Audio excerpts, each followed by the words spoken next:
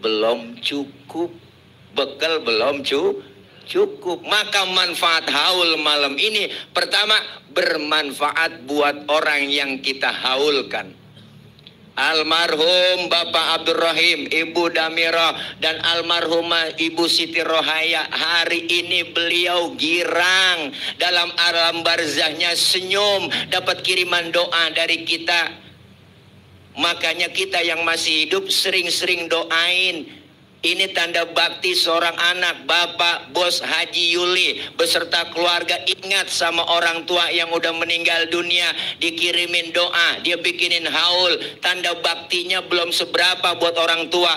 Bahkan guru saya bilang, kalau berbakti sama orang tua yang masih hidup, hukumnya wajib, lebih wajib lagi berbakti kepada orang tua yang sudah meninggal dunia. Kenapa? Karena kita sering lupa sama orang tua yang udah kagak datang kadang-kadang lebaran doang tahun sekali ke kuburannya. Pengki dibawa pacul dibawa jakoret kuburan emaknya emang dasar anak geblek. Kembang doang ditaruhin ke tiga plastik diuruk kuburan emaknya sama kembang. Air mawar tiga ember disiramin emaknya sampai gelagapan Udah begitu bukan doa lagi di kuburan ngomongnya, Pak. Nih biar tahu ya gue kemarin nih, lu biar taunya gue kemarin nih nya, nih gue kemarin nih doainnya habis lebaran gue mau hajatan, doainnya biar nggak hujan, biar tamu datang banyak ya nya ya. Nya nih denger nih saya kemarin nih, emak tuh kalau bisa hidup dicekek tuh bocah bang.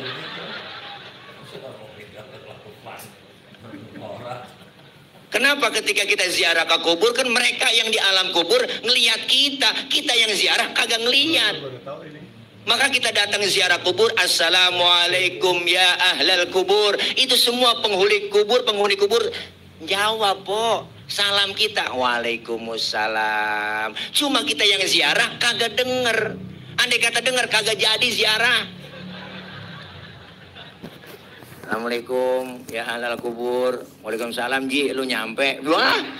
Itu tasbih habis kita lempar po surat yasin habis acak-acakan kita buang. Sendal jepit putus kita ngibrit lari. Kenapa? Ada penampakan mereka bisa melihat kita, kita nggak bisa melihat mereka. Kenapa? Karena alamnya berbeda. Maka doa anak kepada orang tua yang sudah meninggal dunia, insya Allah yang dikeluarin tenaga, harta, pikiran hari ini oleh Bapak Haji Yuli, semua dibalas oleh Allah lebih dari apa yang kita keluarin. Kalau kita hitung-hitung jasa orang tua, bang kita bakal bakal bisa tebus dah, sih, dia kagak dah, hmm, kagak dah. Kumpulin harta kita sebanyak-banyaknya buat nebus jasa kedua orang tua, kagak bakal ketebus. Jangan pakai kita ngeluh. Ada tetangga saya, po, bang, po, ya ilah ilallah, babanya mati. Tahlil tujuh malam, malam keenam kayak ngeluh aja. Ya Allah, tadu, capek banget ini.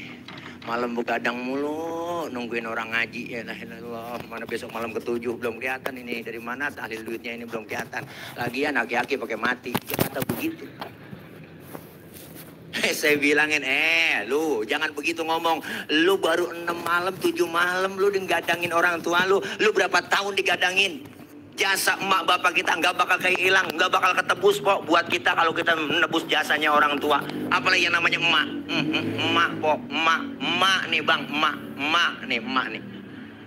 Satu emak bisa ngerawat sepuluh orang anak.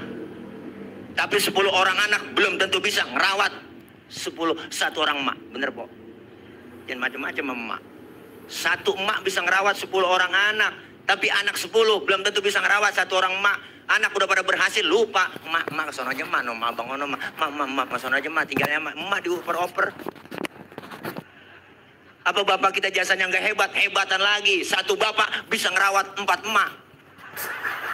Yang macam-macam kok. Kebiangnya langsung yang dirawat. Satu bapak bisa ngerawat Jasa emak kalau gitu. Ya Allah bang. Dari mulai ngandung kita Mbuntingin kita ya po. Udah kita seksa Ngidam muntah tiap jam Wah uwe itu emak Kadang lagi ngidam yang dipinta yang aneh-aneh.